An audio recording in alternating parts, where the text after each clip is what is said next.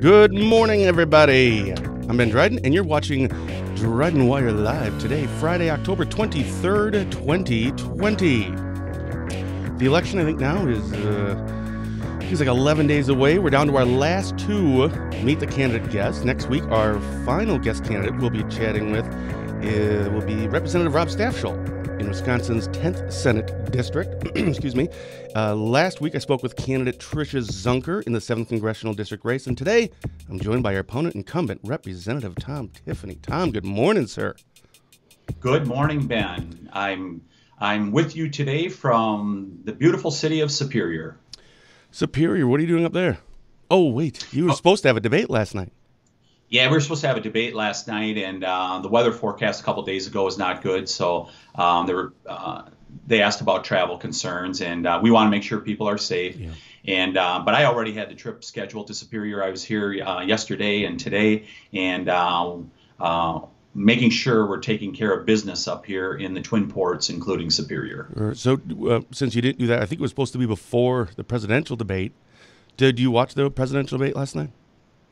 I did watch the press. Yes. What'd you think? Uh, I, I didn't watch all of it. I watched some of it. Um, I thought there were a couple things that um, were really important. First of all, uh, Joe Biden made it clear that he's going to end the use of fossil fuels. So if you want to pay more for gasoline, uh, running your car, and for um, home heating oil, um, he's going to hit you in the pocketbook. The second thing is, I thought he was very disingenuous um, in regards to uh, people losing their coverage as a result of the ACA, because what he said is no one lost their coverage.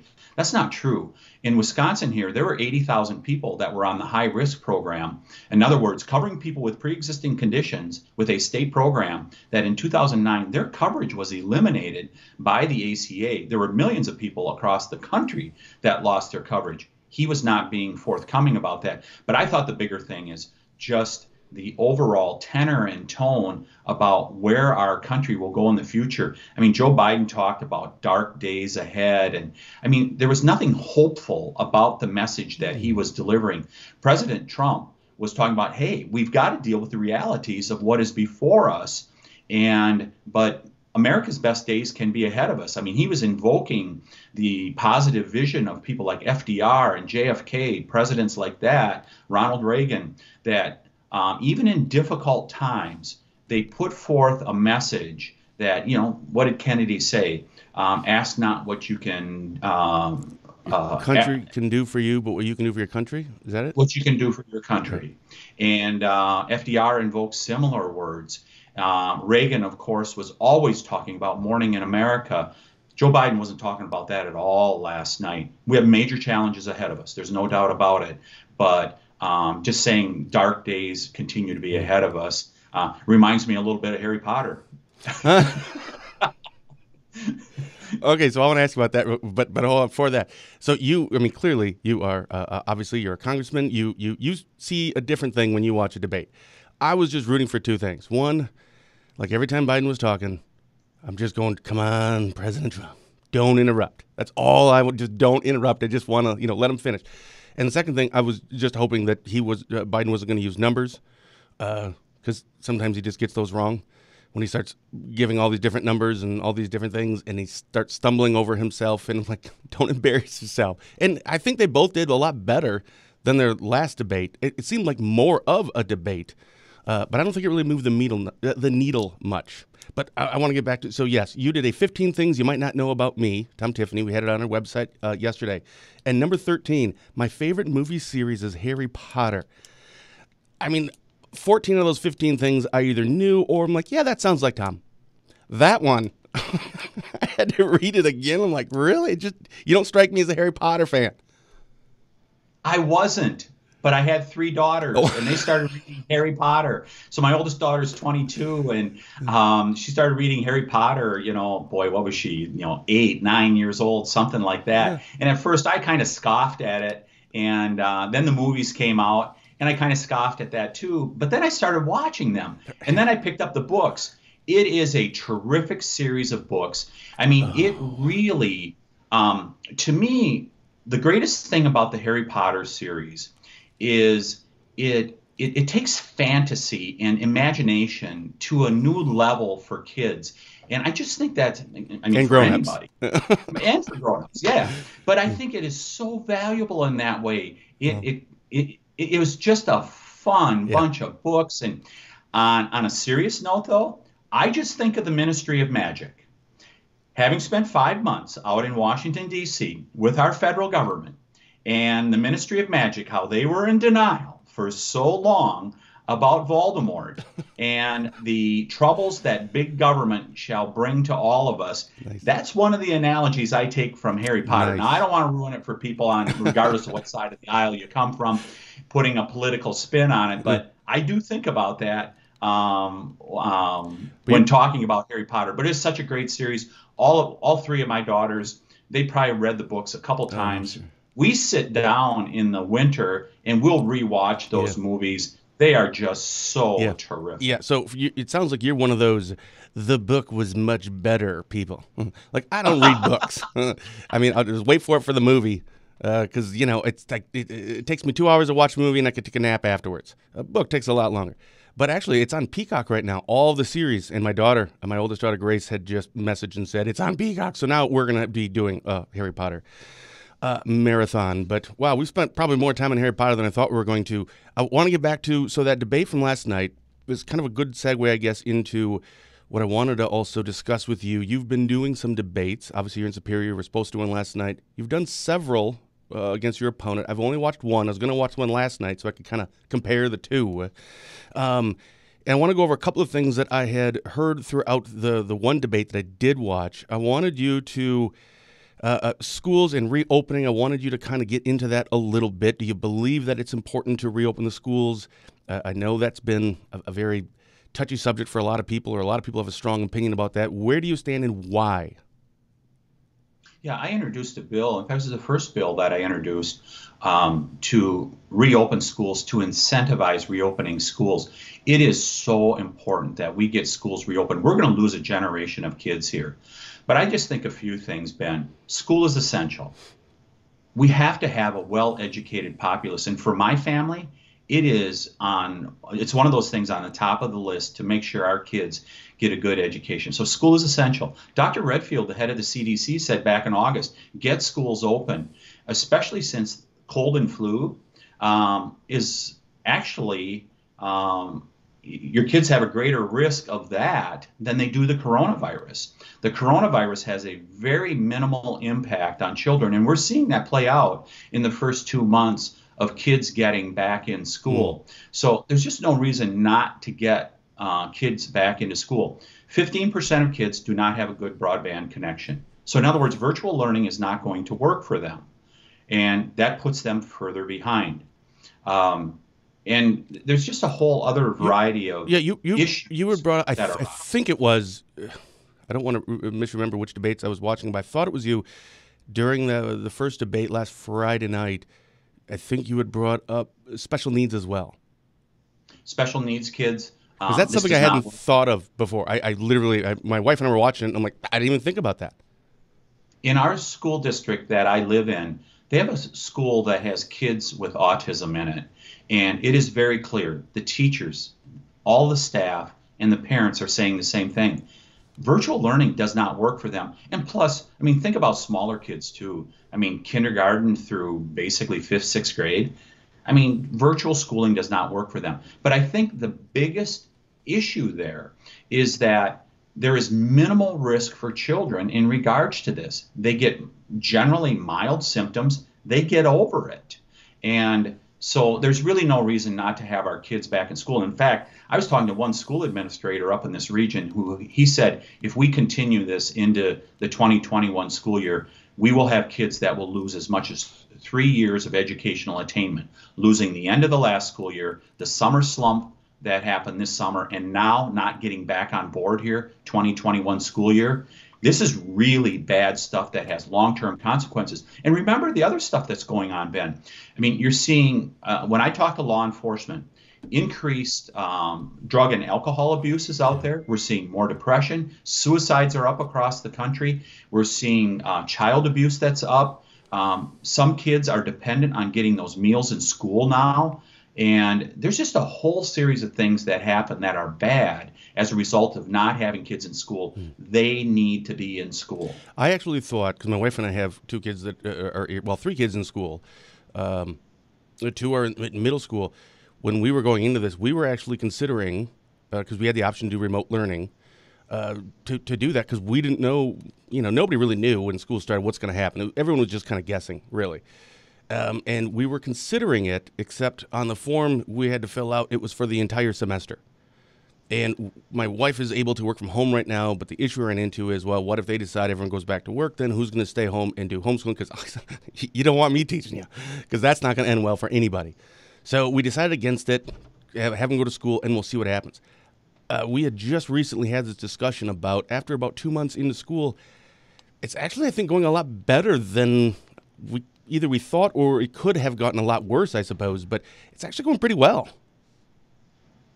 Yeah, it, it varies by school, and uh, but but I just think at the end of the day, the proof is coming in now. In fact, I talked to the county health officer down in Newton County, Missouri. They're the only county that I found in the country where they have taken a different approach and they're really keeping kids in school. Because one of the big things here is the contact tracing where if you're within someone uh, within six feet of someone for 15 minutes they knock you out of school even if you're not sick. I think this is the first time in the history of our state and country where we tell kids to stay home who are not sick.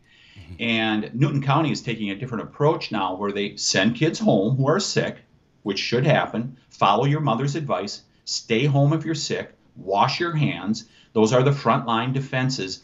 But otherwise, if you're not sick, allow them in school, but then perhaps quarantine them at home. Um, the socialization and the educational attainment that is being denied to children right now is something that I think we're going to regret in the future if we continue down this path. Something else that um, your opponent brought up during the debate that I watched, and maybe this coming up in all the debates. I, again, I only was had the chance to watch one uh, she didn't seem uh, to be a huge fan of your Taiwan legislation. Uh, any response to that? Yeah, I was a little bit surprised by that response um, because Taiwan is a Democrat, democratic, freedom-loving country. I had a chance to go there two years ago and spend time in the country, touring it, as well as meeting with their elected leaders. They're scared to death of the communist Chinese government just across the Taiwan Straits on the mainland of China. And the Chinese Communist government under President Xi, they are bullies and they seek to dominate that um, area of the world, and they do seek world dominance here in the 21st century. And anyone that has any, um, uh, if they have any doubts about that, all you have to do is look at them skirmishing with the Indian government. They've taken over Hong Kong now, once a free city. They have put the Uyghur minorities in their western part of China in virtual concentration camps. And I was a little bit surprised that my opponent would be critical of that because foreign policy is a critical part of what we do at the federal level, Congress and the president. I think it's really important to be engaged with these foreign policy issues, and China is the major foreign policy um, issue that we're going to have for the foreseeable future. Mm. Now, her criticism was, why aren't you paying attention to things at home? Well, I believe I can multitask because I have been taking care of things at home, including getting a couple segments of agriculture um, qualified for the coronavirus food assistance program, including the ginseng growers. They were not originally qualified. It was through the efforts of my office that we got them and the mink farmers qualified for the coronavirus food assistance program. We cut through the red tape to make sure that the Park Falls paper mill was able to reopen with a million dollar loan guarantee that was held up by federal red tape. We swept that red tape out of the way, and that mill is now open and hopefully will be open now for the foreseeable future. So we're working on all kinds of issues. I believe I can multitask, and I think my constituents expect me to multitask. Yeah, I think it's one of those things, though. It's kind of a, yes, you have to uh, look at the seventh congressional district, but there are a lot of other things that may not directly but indirectly impact not just the seventh congressional district, but then Wisconsin, then uh, the other states, because uh, I would expect that's what you're supposed to do when you're in, you know, a United States representative. It, it has to be more. You're not on city council just focusing just on your city. You got to look at the the bigger picture sometimes. Yeah, I mean, foreign affairs and um, what's going on in the world is a critical part of what we do in Congress, and I'm going to be fully engaged on that. And I think my constituents expect me to do that, especially, I mean, just look at we're heavy on agriculture and manufacturing in the 7th Congressional District. Those are critical things that we want to make sure that we're able to trade with other countries. And Taiwan is one of our willing trade partners that it's good when we're able to ship agricultural and manufacturing products to other countries and be able to create jobs here in northern and western Wisconsin. So I just got a text from someone and said, Where's my money? I'm assuming this person is referring to uh, the stimulus package. Hey, where are we on that? Um, so we've seen, you know, the CARES program that went through, and um, uh, the one thing that I'm advocating for right now is there are paycheck protection funds that have not been spent, 138 billion dollars. The money has already been authorized, but the program expired as far as signing up in August. What we're proposing as Republicans in the House is let's extend that program and really target the assistance to those segments of um, our um, business and working people that really need it. And I think about the hospitality industry, restaurants, hotels, they have been hammered as a result of these shutdowns. And um, I would like to see some assistance directed to them uh, for those that have been most affected. Speaker Pelosi is talking about a $2 trillion program. And but that's really a grab bag of things. I mean, she wants to have uh, stimulus payments for illegals. She wants to bail out Illinois, California, and New York um, for their profligate spending, which which certainly predates the whole pandemic. Um, they've had problems before. I don't think people in Wisconsin should be bailing out Illinois for them not knowing how to balance their budget. Mm-hmm. And she wants to return a tax break for millionaires in high tax states like New York and where she lives in California. I don't think that millionaires and billionaires uh, I call it the Bloomberg tax because he'd gain $160 million if this tax break was brought back. I don't think stuff like that should be in the next bill. Make it narrow, make it targeted, make sure that it's helping people through yeah. the pandemic, not trying to bail out people who had problems long before the pandemic. Yeah, and, and for a lot of people that don't know, why can't there just be uh, a bill that is signed just for stimulus for you know that whatever it was last time, like twelve hundred bucks for an adult, something like that. Why not just do that and that's it? Why does it have to have everything else attached to it? Yeah, I think that there's um, there is some interest in doing that, but I mean, let's be real clear. Um, Speaker Pelosi made it um, abundantly clear months ago that she was not going to do anything more through November 3rd. She thinks that the Democrats are going to be able to run the table in this election. They're going to be able to defeat President Trump if they do nothing at this point. She does not want to give the president a win. And that's why nothing is happening here and why nothing targeted is happening. That's why we put together the Paycheck Protection Plan extension bill. And we had Democrats that were supportive of it in the House, but Speaker Pelosi would not let it move forward. Hmm. Uh, I want to read you something. So this is going back to your debate last night, actually. And there was three things. So I signed up. So uh, uh all the area uh, candidates, I go to their website as soon as I hear that they're uh, uh going to be running for something, and I sign up for my email. And usually, like 99% of the time, these are just emails saying, "Here's a whole bunch of bad things about my opponent. Give me money, right? Just donate." And that's fine. Everybody does it. But last night, uh, because your debate was canceled, this is how I found out. I got an email that said, uh, this is from Zunker's campaign. And again, everyone can sign up for this stuff. It says, tonight's congressional debate was canceled due to bad weather, friend, but it doesn't matter. We know that Tom Tiffany would have just lied his way through another debate. Last debate, Representative Tiffany refused to answer questions about, and there were three things listed. One, why he voted against condemning QAnon Two, why he is supporting a lawsuit to repeal your health care. And three, why he is refusing to criticize Trump's handling of COVID 19. Plainly, Tom Tiffany refuses to answer to the people of WIO7, and he would have done the same tonight. So, if it's all right with you, I kind of want to just go through those three things. So, if you want to respond to, because I didn't see your last debate, but why he voted against condemning QAnon. I think that's how you pronounce it. I don't know anything about them. Yeah, so there was two weeks ago um, that that bill came up. That was the very last bill we took up, probably before the election. That's what Speaker Pelosi put up for the very final bill. And it did not have the force of law or anything like that. And it was purely political posturing. I went out to Washington, D.C. to do serious stuff. The day before, she put a bill before us, Speaker Pelosi did, that did not go through committee, did not go through the regular process, that had stimulus payments for illegals, bails out Illinois, what we talked about earlier, tax breaks, the Bloomberg tax break, $160 million for Michael Bloomberg because he lives in a high tax state. That's the choice they made to live in New York and California and be in a high tax state. And we're supposed to bail them out here in Wisconsin. She's not putting serious legislation before us. And so I just chose to vote no because I want to see good stuff come before us the five months that I've been out there in Washington, D.C., we've been able to get some good things done in this office. We talked about the Park Falls paper mill. Mm-hmm. We talked about the coronavirus food assistance program for ginseng and mint growers. I mean, those are the kind of things that I'm working on and trying to be a serious legislator and the, rather than. Yeah, and the wolf uh, delisting thing, right?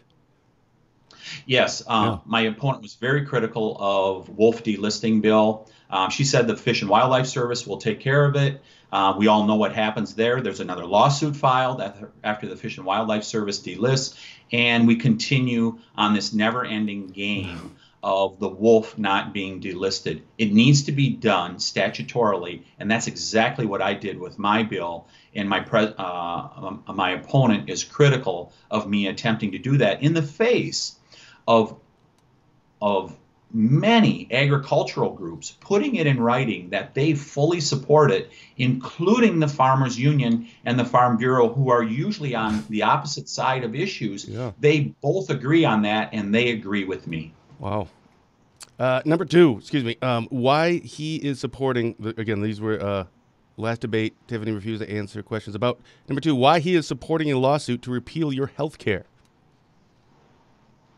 Uh, my answer was regardless of how the uh, repeal of the ACA, the Affordable Care Act, mm-hmm. regardless of what happens um, with the courts, I have a plan to be able to get people more affordable health care. And it starts with choice, competition, and transparency. We need to make sure people have choices, more, not less. My opponent is saying, let's just have the federal government run it let's have competition because competition always brings prices down. And to have competition, you have to have transparency. I have been at the forefront, both in the state legislature as well as I will be out in Congress, to make sure people know how much pharmaceuticals and the procedures that they're going to, medical procedures they'll have, that they know ahead of time how much those things are going to cost. And so I support, I mean, here's what I support is protecting people with pre-existing conditions. We talked earlier. The ACA went and eliminated Wisconsin's program back in 2009, which was a terrible mistake. A much better approach here now is to whether the ACA is in place or not. Let's take dollars from the federal level and allow states like Wisconsin to create their own high risk pool, their own pool that will deal with those people with um, um, with pre-existing conditions we will get a much more effective solution that way. I also support sweeping away red tape so we can bring the family doctor back. A lot of people don't realize we have something called direct primary care here in Wisconsin, and that is a fancy way of saying your family doctor from 50 years ago. And there are doctors that are just thirsting to be able to get out of the big hospital systems not have insurance between them, the insurance companies between them and their patients, and they want to have these direct primary care facilities. And there are a number of them around the country, uh, around the state and country, um, including right in my backyard in Rhinelander. And we should be fostering more of that primary care because, for example, I have seen doctors with direct primary care, your family doctor, that will do house calls I've seen them have rates as low as $1,000 a year. You can get all of your primary care for less than $1,000 a year.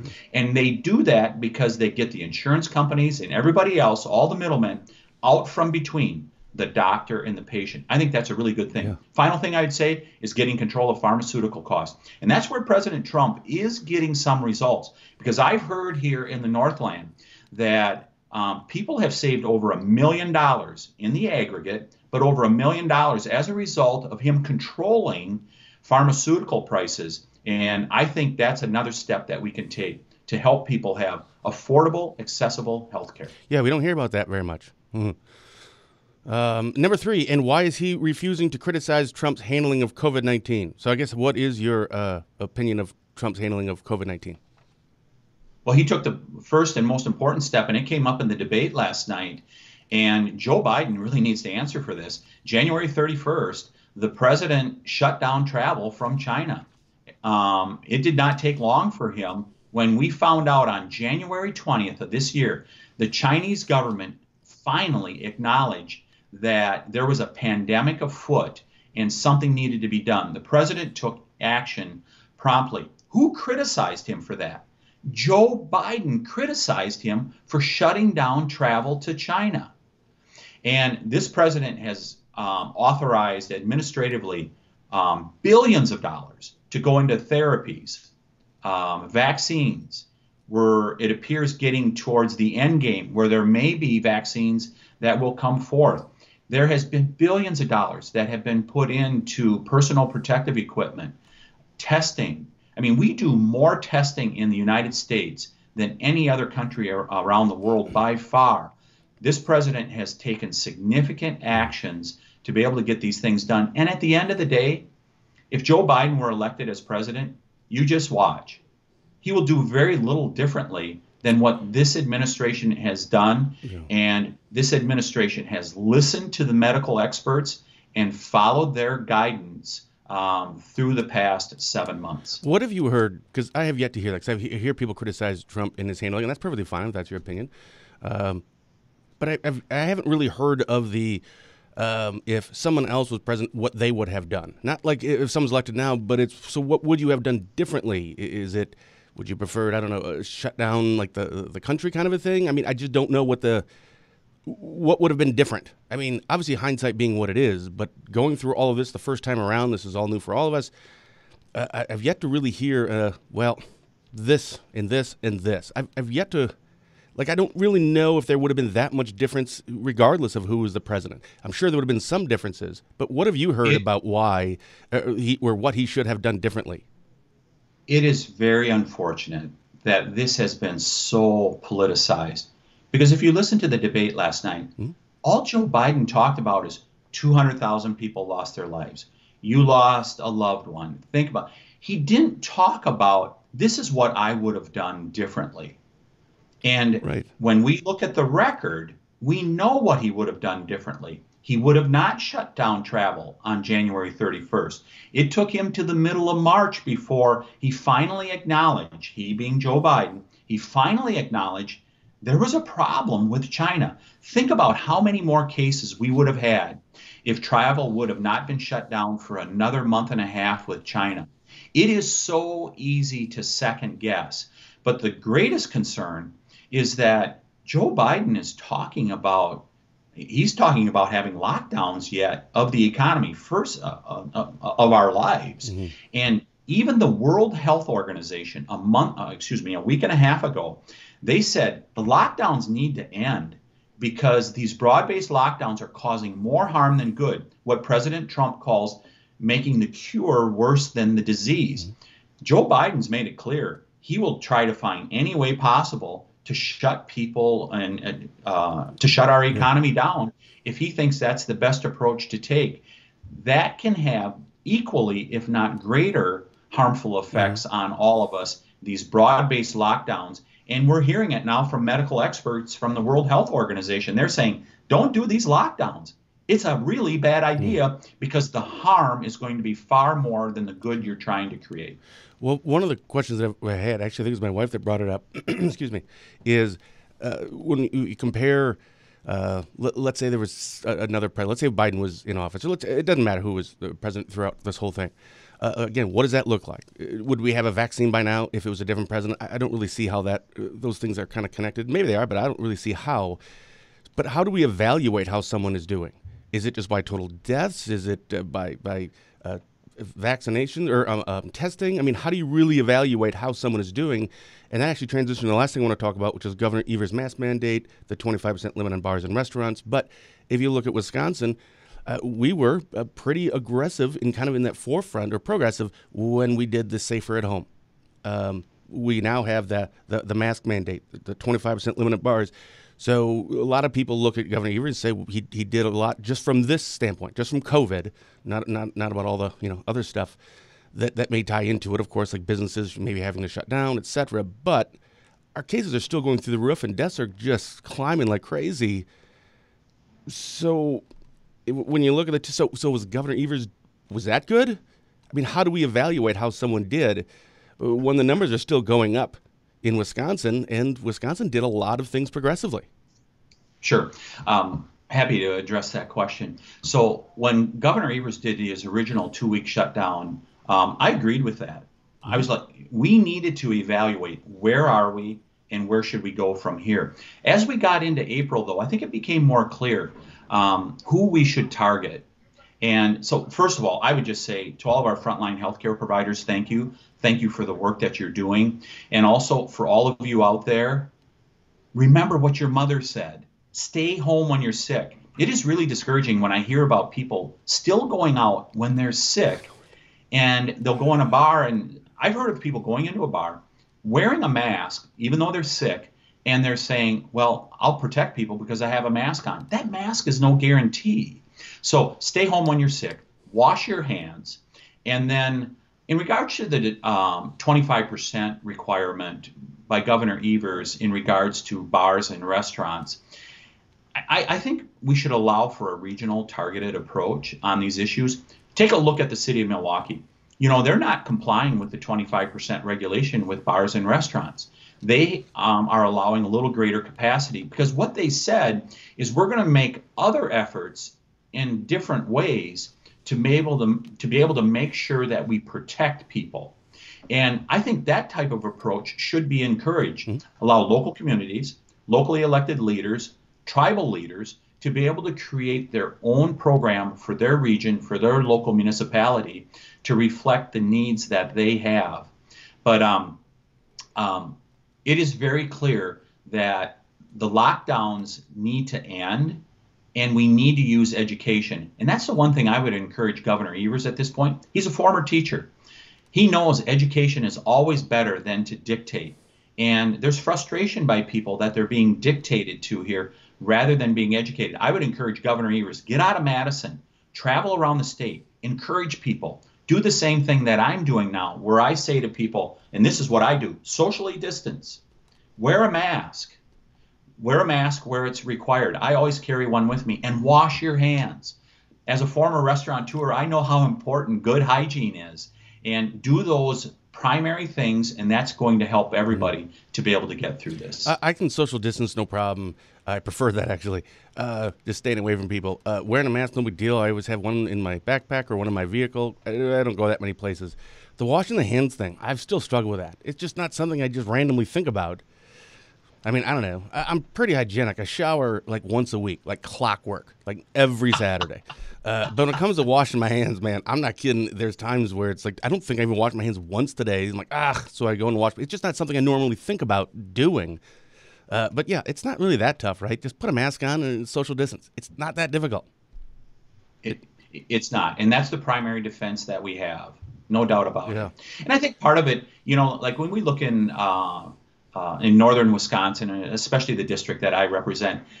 I mean, people are talking about, boy, there's exploding cases, and it's all the rest, and the cases have increased. There's no doubt about it, and there's concerns out there, um, and we need to take this seriously. The virus is real, but you also have to remember that we started with very low levels um, throughout the summer, and you know, it appears it's our turn. It's a virus it is going to go through the population, and we want to limit it as much as possible. But it is a virus, and it will affect people.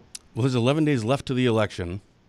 Uh, obviously, your election, well, in president's post. Uh, uh, pretty much everyone's made up their mind, right? You're not going to really change anyone's mind at this point, most likely. So why don't you just take like 11 days off? Um, I disagree. I think there's a Oh. significant number of people that are still making up their mind. And I think about being in the barber shop yesterday. How'd you like my haircut, by the way? Uh, oh, very nice. Okay, thank you. Yeah. um, um, but I was in the barber shop yesterday, and um, there was a guy in there that he said, you know, I still haven't decided who I'm going to vote for uh, for president. I actually think there's a few more undecided people than uh, than you realize, and so the final 11 days is really important. I mean, that's why I'm up in Superior. I was here yesterday. I'm here today because I'm covering every corner of the district. District. Now I'm doing it responsibly and safely. I'm doing it social distancing. I make sure and take the appropriate protections. But you know what? I was elected to represent over 700,000 people, and it's important to do my job that I was elected to do. And I will continue to do that, including going out and meeting people and sharing with them some of the good news of stuff that we've been able to get done. But more importantly, a future vision for this district and for America of how we can get back to prosperity. And I start out by saying restore, rebuild, and reopen. Reopen safely and responsibly. If we do that, we're going to rebuild our economy. We're already seeing it come back from the depths of a few months ago with the mandated shutdowns and lockdowns. And I think we can restore the uh, our way of life and renew the American dream. Those are the things that I'm going to be working on. I'd just take 11 days off, but okay, you can do you, man. We'll be out there. Yeah. We'll out there uh, uh, so we're up against the. yeah. Uh, anything yeah, that we uh, uh, didn't get a chance to talk about that you wanted to discuss or bring up or say? Gosh, um, I hope to earn people's vote again. Um, I can't thank people enough for the privilege to be able to represent them for the past five months. And man, we've been able to get some good things done, and we have a priority list, whether it's broadband up here in Superior, trying to get Navy contracts for private shipyards, um, uh, continuing our work on the agricultural front. Um, there's just all kinds of things um, that we have on our list in my office that we're going to be ready to go to work immediately after November 3rd, having a, uh, a real impact benefiting northern and western Wisconsin. It's been a great honor and privilege to be able to do this for five months. I really look forward to doing it again for another two years. Well, best of luck to you, uh, November 3rd. Blessings to you and your family, and uh, thanks for being here. It's great to be here, Ben, and uh, enjoy these 11 days off. Yeah. You've been watching Meet the Candidate on Dryden Wire Live. I'm Ben Dryden. Until next time, stay safe, keep your social distance, and as always, have a blessed day.